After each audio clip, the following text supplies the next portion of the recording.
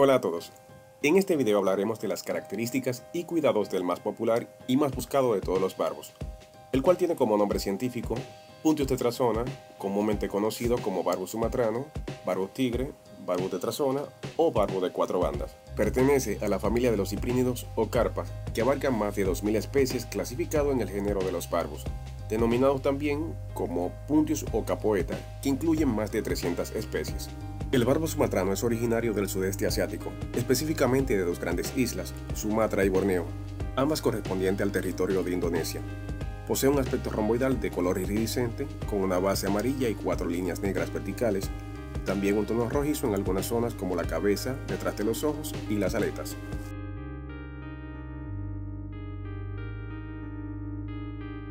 En muchas tiendas especializadas de acuariofilia podemos encontrar sumatranos albinos y transgénicos, de esta variedad con colores lumínicos que van desde el rojo al verde radioactivo. En estado de adultez, su tamaño es de 4 a 7 centímetros. Podemos diferenciar el macho porque es más colorido y esbelto. Sin embargo, la hembra presenta mayor tamaño, colores menos intensos y una panza abultada. A veces el barbo tetrazona es confundido con el barbo pentasona o de cinco bandas, aunque comparten algunas similitudes, son diferentes. Estos peces no son demasiado exigentes, por lo que resultan fácil de cuidar. Es una especie omnívora. Podemos proporcionarle una alimentación muy variada con comida en escama, alimento liofilizado, congelado y vivo, como las larvas de mosquitos, la Daphnia, Artemia, Tubifex, Gamarus, entre otros. El barbo tetrazón es de carácter pacífico, no presenta agresividad hacia sus congéneres pero con otras especies puede ser territorial, en especial cuando ya es adulto. Por esto, es un pez ideal para acuarios específicos y en caso de adquirirlo para un acuario comunitario, debemos colocar por lo menos 6 u 8 ejemplares y evitar colocarlos con especie de nado lento, porque los pentazonas son muy activos y nadan muy rápido de un extremo a otro en la zona central fondo del acuario y si les llama la atención tienden a mordisquear las aletas de los demás.